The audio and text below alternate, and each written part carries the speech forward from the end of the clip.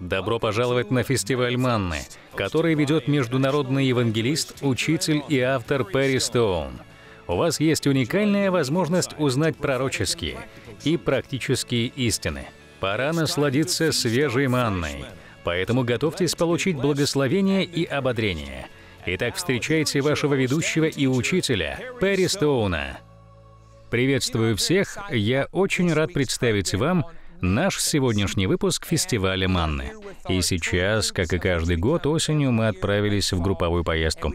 Здесь вместе с нами находится 40 человек, занятых в съемках нашей программы. Некоторые могут подумать, что я живу здесь, но на самом деле мы просто снимаем и готовим новые выпуски в течение всего года. Мы стоим на берегу Галилейского моря, окруженном живописными горами. Именно здесь Иисус творил свои чудеса и молился. Говоря о молитве, сразу скажу, что изучение будет по отрывку из книги «Деяний». Прочитаем вместе 19 главу, 11 стих. Это наша тема на сегодня. А вот что там написано. «Бог же творил немалые чудеса руками Павла, так что на больных возлагали платки и опоясания с тела его, и у них прекращались болезни, злые духи выходили из них». Хочу подчеркнуть, что в оригинале текста в Библии сказано об особых чудесах, которые творил Павел. Здесь важно знать, что это место трактуется по-разному. Теология учит нас, что 12 апостолам была дана некая особая апостольская власть. Это апостолы, которых Иисус изначально избрал. О них мы можем прочитать в Новом Завете в четырех Евангелиях.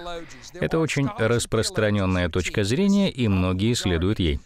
Также приверженцы этой точки зрения в теологии верят, что после смерти апостола Иоанна, после его отбытия с острова Патмос, между 97 и 100 годом нашей эры, действие чудодейственных даров прекратилось. То есть чудодейственная сила Божия прекратилась после смерти последнего апостола. По этой теории получается, что дар чудотворения был дан апостолам именно для того, чтобы поставить на ноги и укрепить первую церковь. Это была основная причина и задача. Позже, к концу IV века, когда книги Нового Завета были собраны воедино, нам вроде как и чудеса стали не очень важны.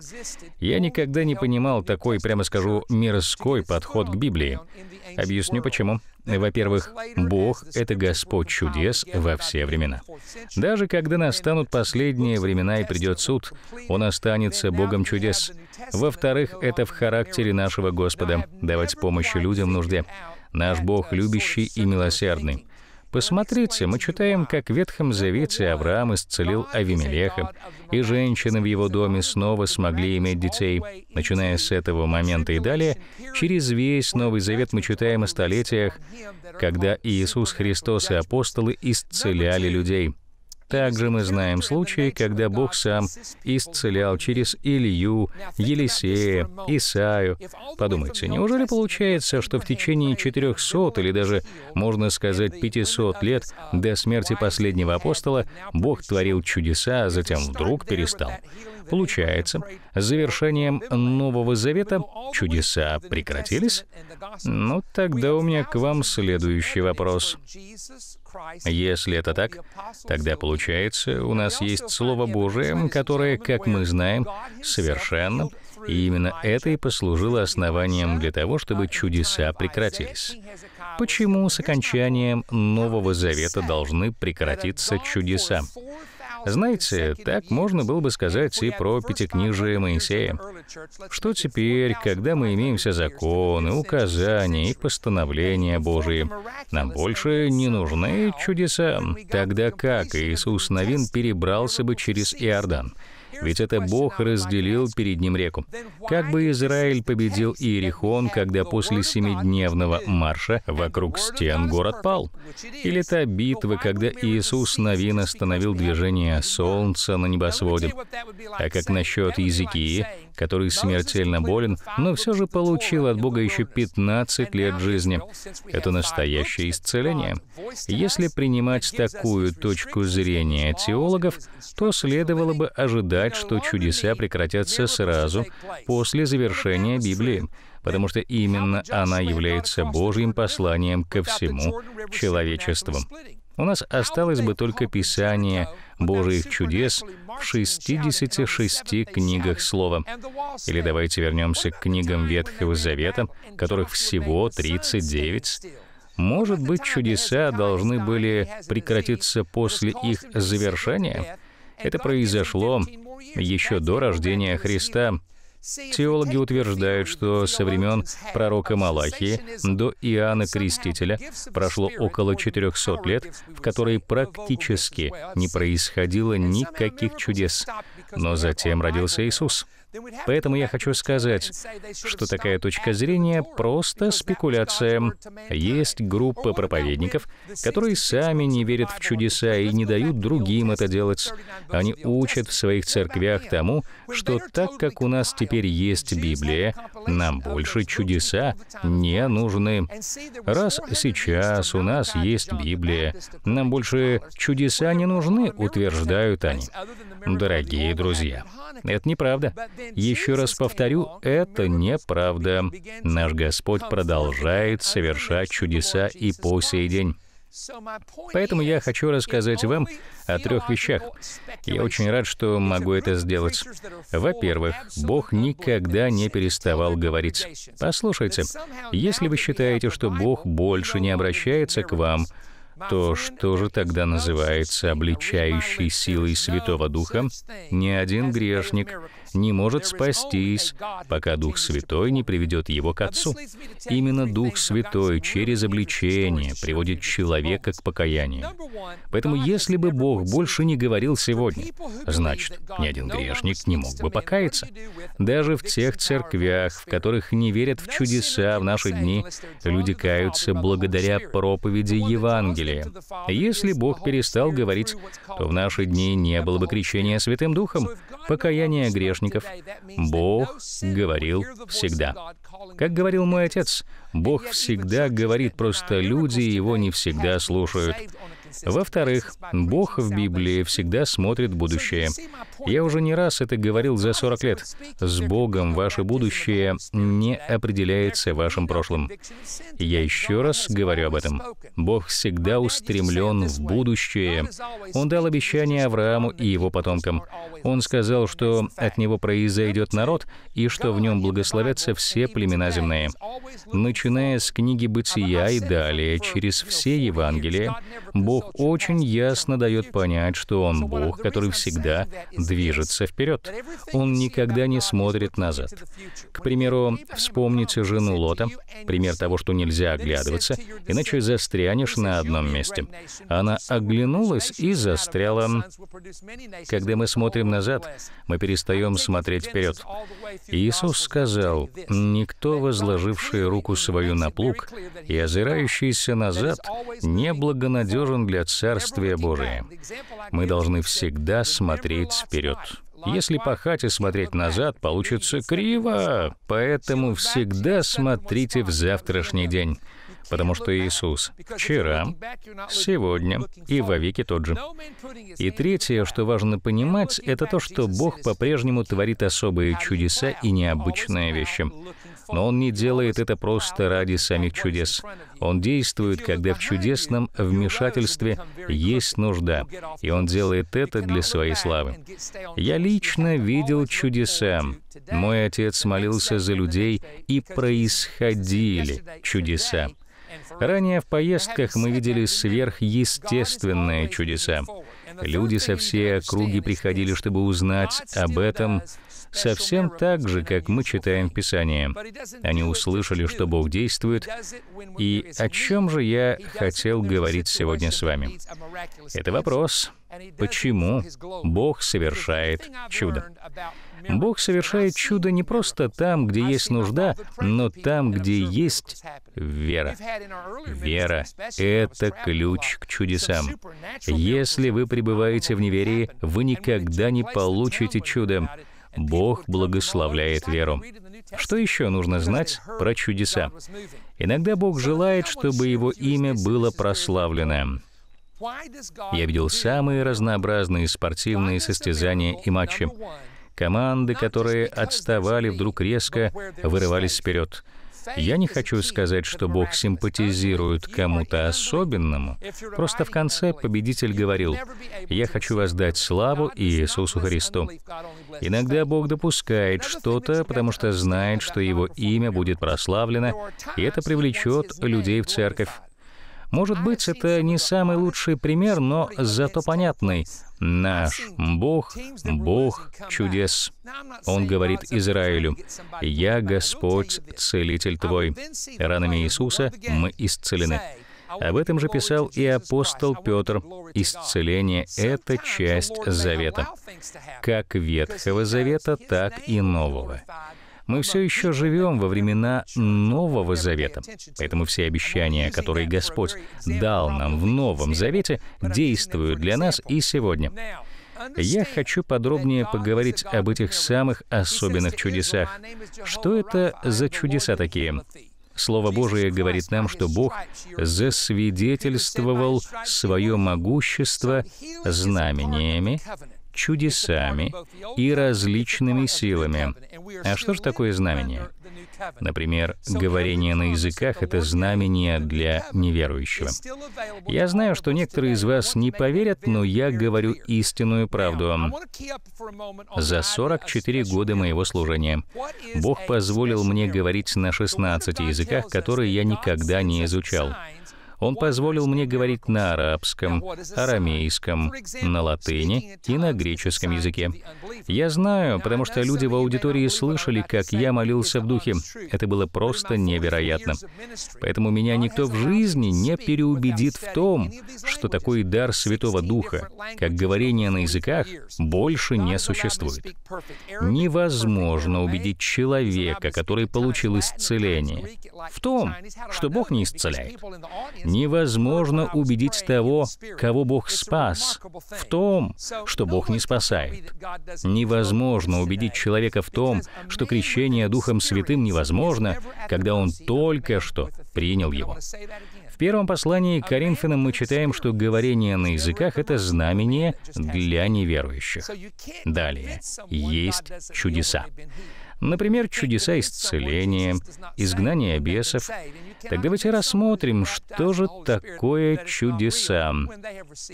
Об этом не так много проповедуется сегодня.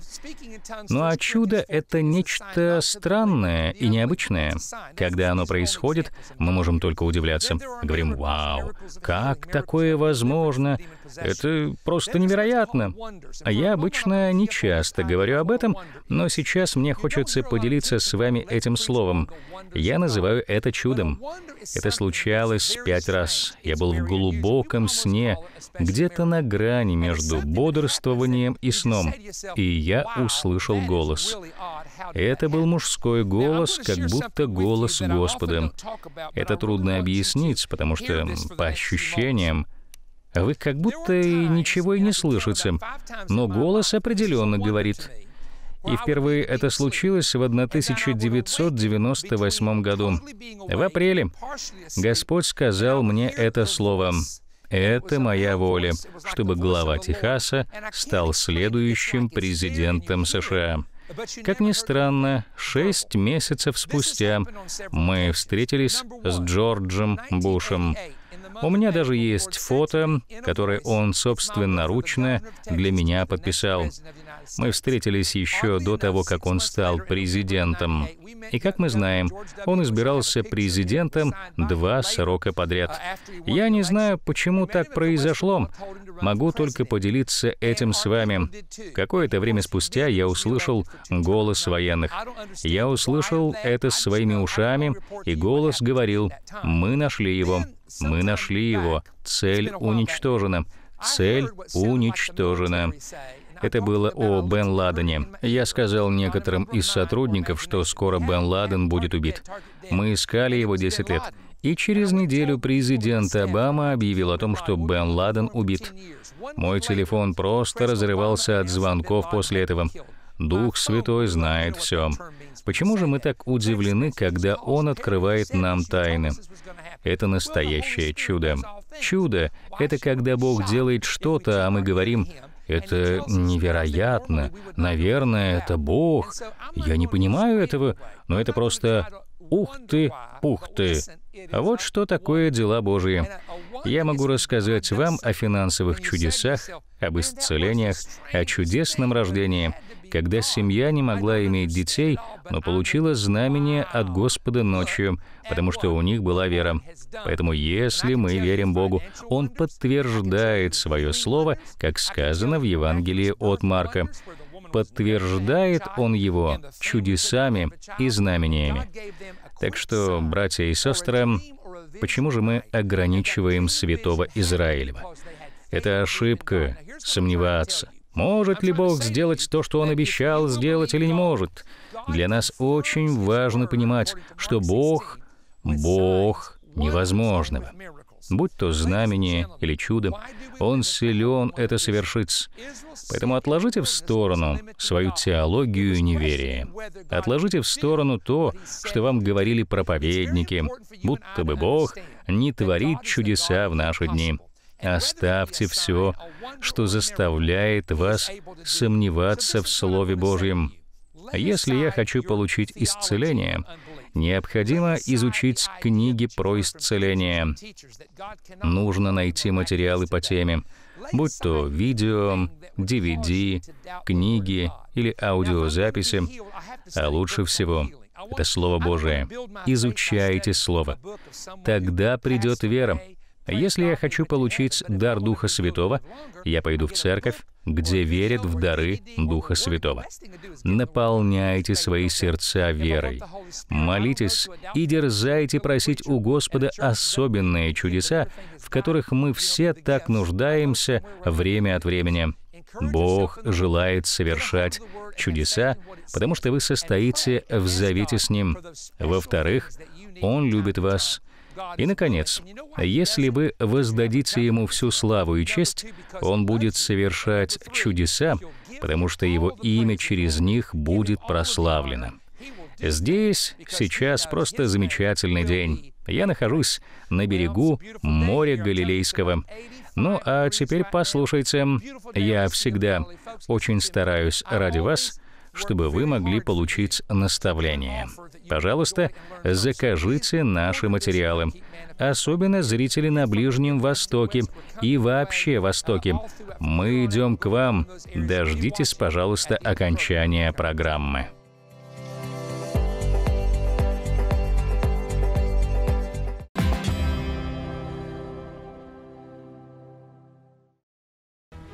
Мы живем в важные времена. Мы — поколение откровения. Не прячьтесь в духовной тьме, но поймите эти пророческие времена. Расскажите другим о приходе последних дней. Перри Стоун и Билл Клауд оперативно записали обновленное пророческое учение, которое уже в продаже. Вот проповеди Перри. Еврейский пророческий код, скрытый в семи притчах о царстве. И Америка как центр новой социальной революции. Новый 70-летний пророческий цикл и знаки конца времен. Исполнившиеся пророчества об израильских дарованиях. Америка в кризисе. Знак пожаров, секиры и дерева. Также вы найдете в комплекте дисков три проповеди Билла Клауда, наполненные мудростью. Темы проповедей. Начало скорбей, когда Бог скрывает свое лицо. И битва за Америку. Чтобы получить компакт-диски, сделайте запрос товара под номером, указанным на экране. Пожертвуйте 60 или более долларов. Чтобы получить DVD, сделайте запрос товара под номером, указанным на экране. Пожертвуйте 80 или более долларов. Дорогие телезрители, посетите наш сайт или позвоните по номеру, который указан на экране. Пожалуйста, не забудьте записать наш телефонный номер Дорогие телезрители, пишите письма на почтовый адрес американского служения Перри Стоуна, который вы видите на экране. В эти дни и времена мы продолжаем видеть, как Бог исполняет свои пророчества из Библии. Поделитесь этими посланиями с близкими. Мы ожидаем ваших отзывов. Все диски и книги представлены в нашем интернет-магазине. Позвоните нам. Это последняя возможность приобрести видео с нашего эпического форума. Благодарим тех, кто уже сделал заказ. Мы получили много откликов. Не отредактированная версия доступна прямо сейчас. Со следующей недели начнется новая серия проповедей. В прошлом году мы ездили в Израиль, поэтому не смогли записать обычные программы для вас. Мы планировали поехать в этом апреле, но пришлось перенести поездку на ноябрь. К этому времени Израиль откроет границы. Следующие несколько выпусков будут из студии. Многие из вас говорили, что особенно любят выпуски из Израиля и именно поэтому смотрят нашу передачу. Так что я думаю, что следующая серия программ особенно вас порадует. Некоторые из них будут в записи и предупреждаю, у меня снова будут черные волосы, это означает, что запись сделана заранее. Пока я вдруг не посидел, я знаю, что некоторые из вас будут в недоумении, что случилось с волосами Перри. Поэтому предупреждаю заранее, сейчас у меня белая голова, и я не планирую это менять. Так что я решил оставить все как есть. Позвольте в рамках сегодняшнего послания сказать вам следующее. Бог обещал в последние времена излить Святой Дух на всякую плоть, и многие будут видеть сны и видения. Это уже происходило с моим отцом и моим братом, и со мною тоже. Мы получили дар видеть сновидения, в которых есть скрытое значение. Однажды мой отец увидел во сне машину, в которой на переднем сидении торчал большой нож. Мне было тогда всего 13 лет, и мы жили в штате Вирджиния. В одном небольшом городке на юге штата мы заканчивали воскресное богослужение, а на улице было темно. И мужчина по имени Берг вернулся в церковь и сказал, «Брат Стоун, я чувствую, что мне нужно сейчас быть здесь с вами». Дети и я были уже в машине с мамой. Неожиданно раздался стук в дверь.